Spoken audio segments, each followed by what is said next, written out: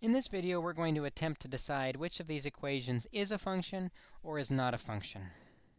The way we decide if something's a function is it has at most one output for any input. Typically, we think about the y's as the outputs, and so what we're really asking is, does this equation guarantee exactly one solution for y given a value of x?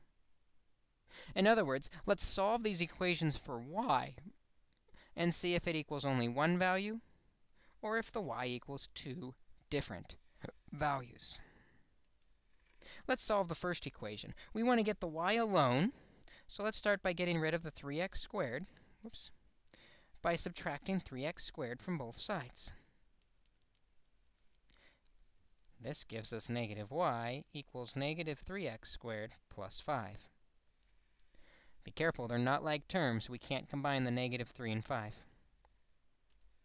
Still have to clear the negative. That really is negative 1 times y, so we'll divide each term by negative 1, and that gives us y is equal to positive 3x squared minus 5.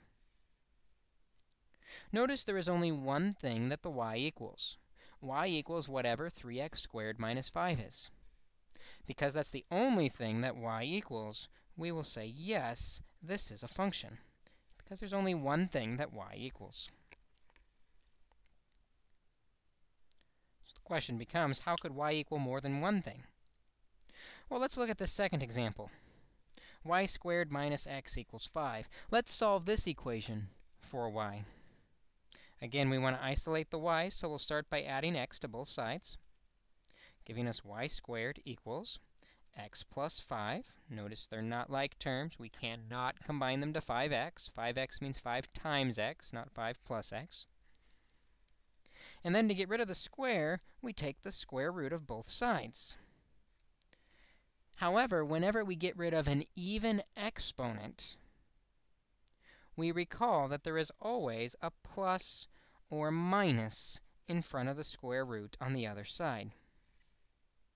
In other words, y is either equal to the positive square root of x plus 5, or y is equal to the negative square root of x plus 5. Notice there are two possible values for y, one from the positive and one from the negative.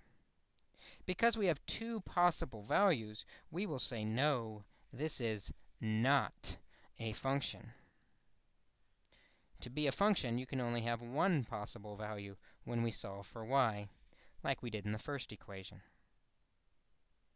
To determine if an equation is a function, the quick and easy way we can decide is to solve the equation for y. If there's only one possible value for y, it is a function. If there's more than one, it is not a function.